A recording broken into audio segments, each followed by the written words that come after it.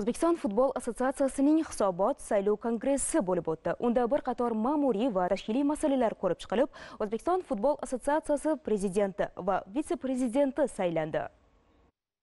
Janob kongress yig'ilishida 66 nafar delegat shuningdek tartib taomiliga ko'ra fifa hamda ofkning rasmiy vakillari ishtirok etdi dastlab qatnashchilar kun tartibiga qo'yilgan ma'muriy masalalarni ko'rib chiqdilar bu assotsiatsiya qoshidagi mustaqil qo'mita va bo'limlar umuman tuzilmaning moliyaviy va yillik umumiy hisoboti faoliyati tahlil qilindi millionlar o'yini futbolni rivojlantirish ommalashtirish seleksiya musobaqalar infratuzilmani takomillashtirish borasida amalga oshirilgan ishlar va ularning natijalariga e'tibor qaratildi hisobot davrida bolalar va o'smirlar futbol maktablari o'rtasida ellikdan ziyod turli darajadagi turnirlar o'tkazilib ular sakkiz yuz o'n besh mingdan ortiq o'g'il qizlarni qamrab oldi.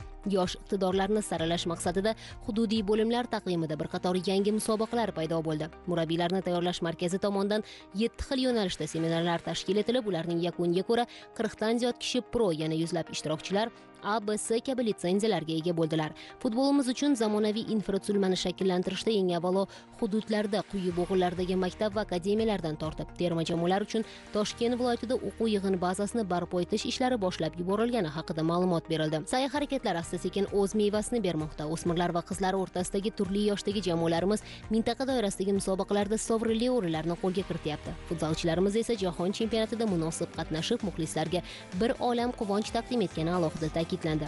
Kongressda tashkiliy masala ham ko'rib chiqilib keyingi to'rt yillik muddatga yangi rahbariyat saylandi. O'zbekiston futbol assotsiatsiyasi prezidenti lavozimiga ilgari surilgan abdusalom azizov nomzodi delegatlar tomonidan bir ovozdan ma'qullandi. Ravshan ermatov birinchi vitse prezident sifatida yana o'z ishini davom ettiradigan bo'ldi. Shuningdek ijroiya qo'mitaning yangi tarkibi ham saylandi. Yig'ilishda qatnashgan xalqaro kuzatuvchilar barcha jarayonlar fifa hamda ofk talablari ostida o'tganini yuqori baholadilar. One of the biggest achievements that in terms of governance that you've uh, had uh, in previous years. O'zbekiston futbol assotsiatsiyasi um, fifa va ofk uh, talablari asosida o'zining ustavini va tarixda birinchi marta o'zini uh, saylov kodeksini ishlab chiqdi va saylov jarayonlari tarixda birinchi marta shaffof va barcha uchun ochiq oydin barcha saylov protseduralari yo'lga qo'yilgan holda o'tkazildi.